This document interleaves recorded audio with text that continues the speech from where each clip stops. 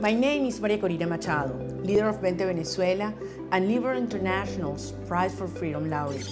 Internet shutdowns are being weaponized as a method for suppressing opposition, undermining democratic elections, controlling citizens' lives, and restricting access to information.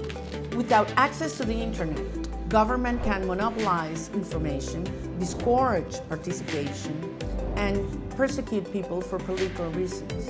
Political association can get much more difficult and dangerous, and people can be prevented from reporting accurately human rights abuses.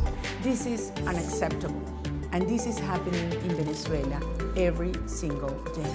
In an age of digitalization, governments must openly and persistently denounce the use of internet shutdowns as a hindrance for enjoyment of human rights such as access to information, freedom of expression, health, education, and work.